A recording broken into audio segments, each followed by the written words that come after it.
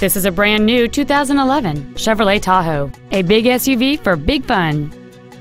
It features a 5.3-liter, eight-cylinder engine and a six-speed automatic transmission.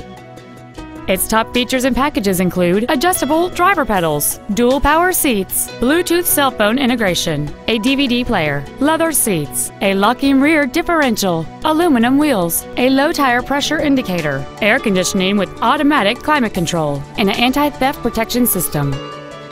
Contact us today to arrange your test drive.